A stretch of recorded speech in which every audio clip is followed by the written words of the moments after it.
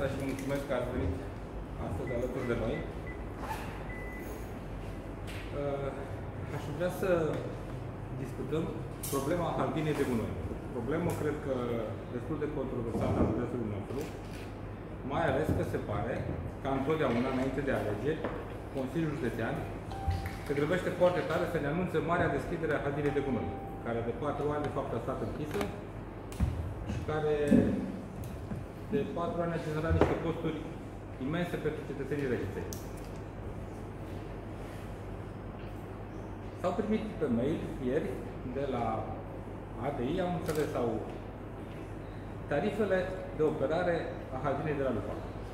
După cum știți, această haldină, operarea gunoiului va face firma Direxim. Și dacă vreți, vă spun un mic istoric al acestei haldine.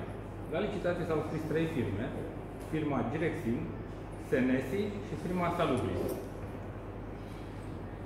Din cele trei oferte, a fost dată câștigătoare oferta de pe locul 3, firma Direxim, celelalte două fiind descalificate.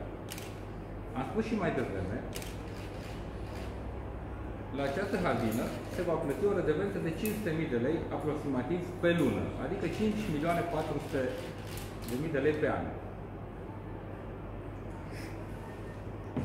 Acum, după 4 ani de zile în care nu s-a făcut nimic, vă rog să vă uitați la costurile care vor reveni cetățenilor.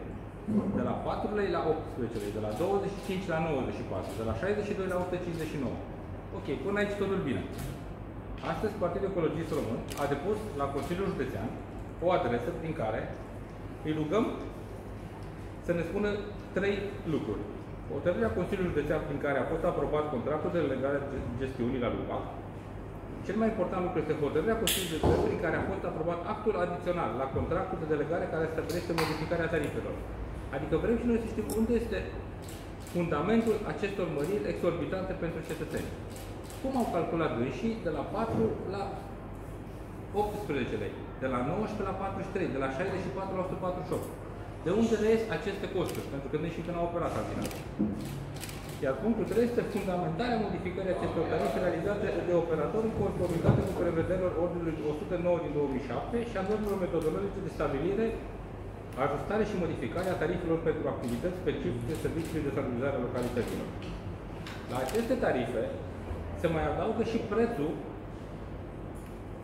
firmelor care au câștigat licitația. Deci se mai vin și costurile celor care strâng gunoiul.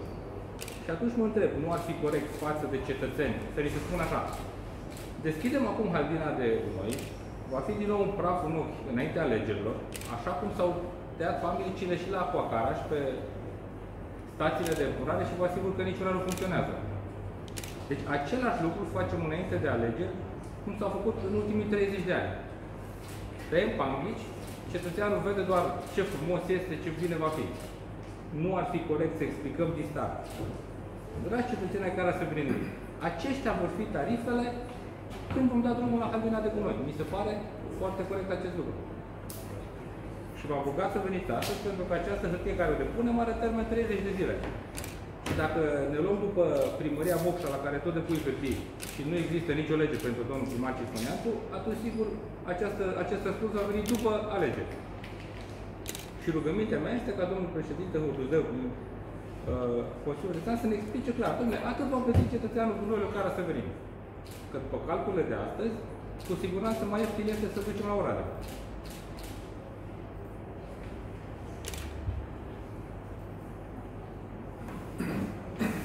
Dacă tot uh, este sloganul acesta, noi putem face schimbarea. Eu nu înțeleg care este de fapt schimbarea acestor alianțe. După 30 de ani, aceleași metehne. Tăiem panglici, totul va fi în regulă, dăm bine la presă, facem poze. Am spus clar în punctul 10 al nostru.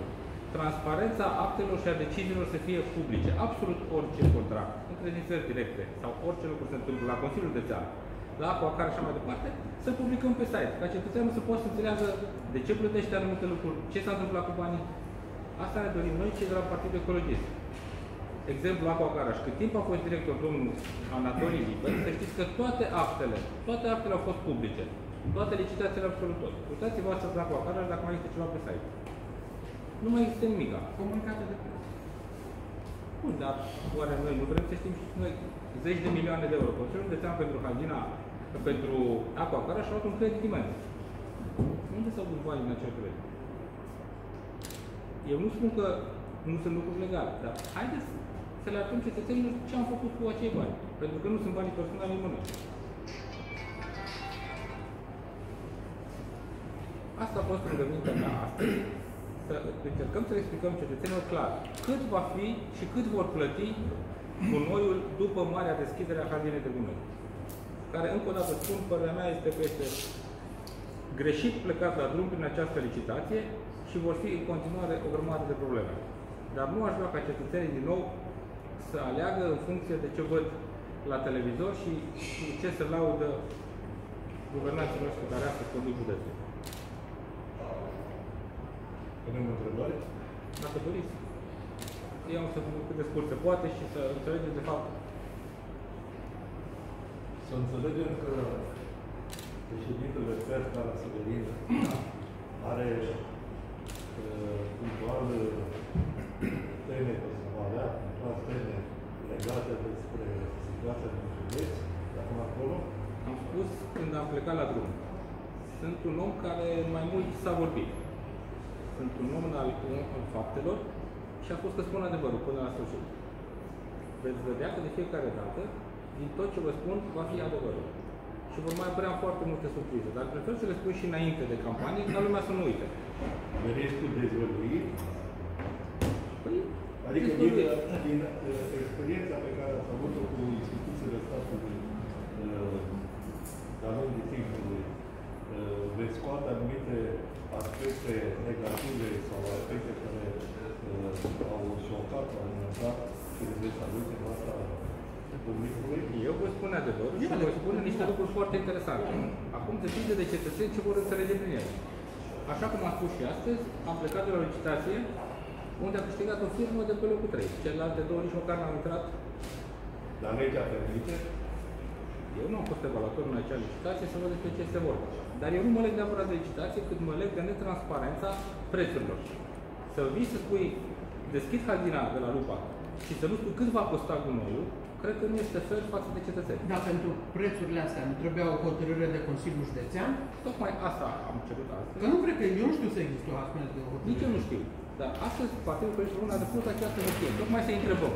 Dar de aceea am nevoie, nevoie de ajutorul presei. Pentru că întotdeauna mi-am dorit și poate multe dintre noastre mă cunosc.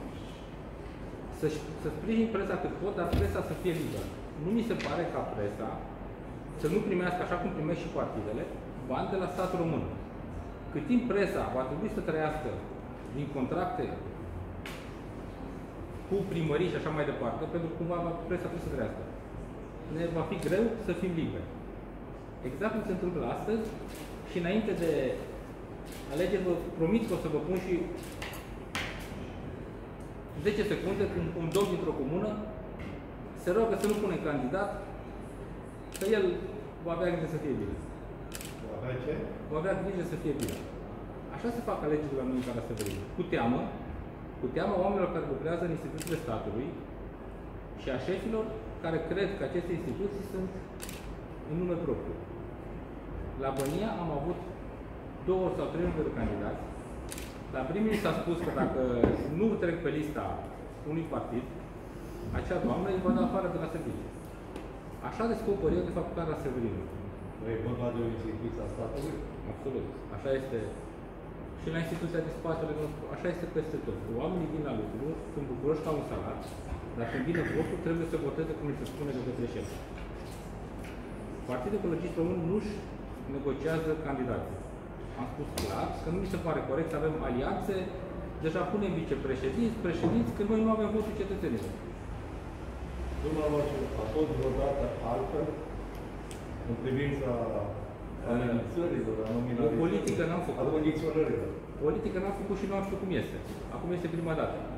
Și constat că este mai urât decât în mediul de E un afaceri. avantaj că n-ați mai făcut politică până acum? Nu știu că este un avantaj. Poate că vârstia mea și spun adevărul, de asta am și au probleme de-a lungul timpului, că sunt prea sincer.